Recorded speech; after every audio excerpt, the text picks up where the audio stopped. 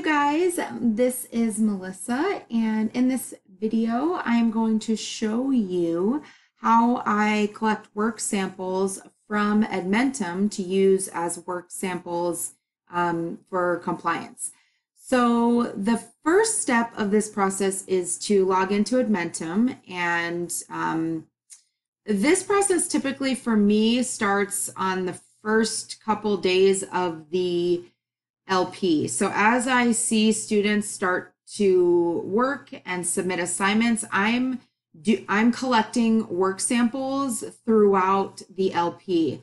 That makes it easier at the end of the LP when you have to complete compliance. If you already have a bunch of work samples pulled and uploaded into the SIS, it just makes it a lot easier. So actually right now, this is um, this like second or third day of LP2, and I already have a lot of kiddos submitting a bunch of work, so I am going to start pulling some work samples. Um, and this is the Edmentum Sensei. When you log in, you can really, you can see who's submitting work. So this is typically where I start. Um, so I'm going to start with this student, Serena Harding. She's working in one specific class. Um, so what I'll do is I'll go to her account and I will pull up that specific class that she's working in, which in this case is psychology. So um, I know that she's working in psychology, so I click on her psychology class. And then typically, um, you know, you, you definitely want to choose a work sample that was completed during this LP. Um, and I know just based on looking at the Sensei that uh, this consciousness assignment was one that she completed actually today. So what you'll do is you'll click on this view button, uh, which is the computer with the magnifying glass in it. So you'll click on that. Once you do, you're going to take a screenshot of the screen. Um, I typically don't like to use incorrect answers. So since this first question is incorrect, I'll go to one that is correct. Um, this one looks a little better. So I use the snipping tool on my computer to take a screenshot. Um, so I'll take this screenshot. I always make sure that I have the name of the assignment as well as the full question in it. Um, and that is what I screenshot.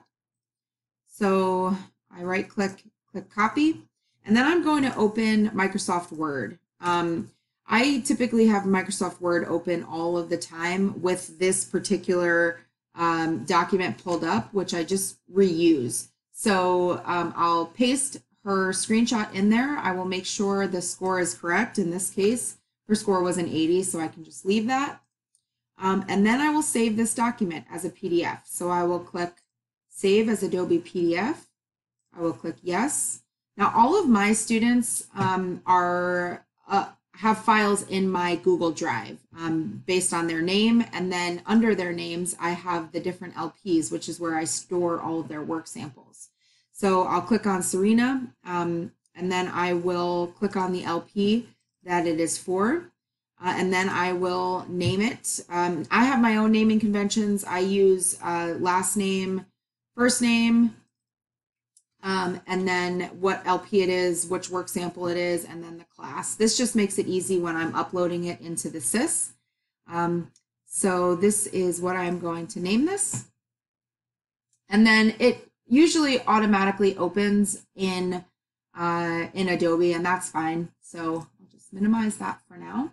Once uh, the work sample is created, um, and saved into my, my drive, I then will go to uh, the SIS. Now, when I'm in the SIS, you're going to navigate to teachers, and then you're going to click on compliance. Under compliance, you're going to click on this archive button right here.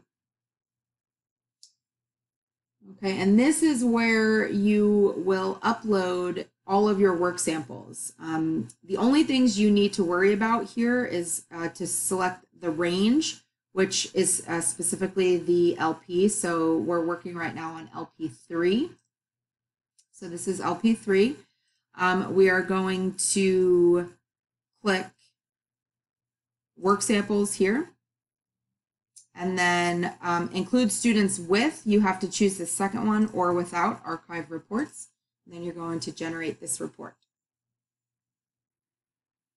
So once this report is generated, you will select the student that you're working on. So I'm going to come down here to Serena Harding and I'm going to find the assignment that I know she um, worked on for the class. So I know that she was in psychology. It was an elective class. So I'm going to click on this upload button, that blue um, arrow.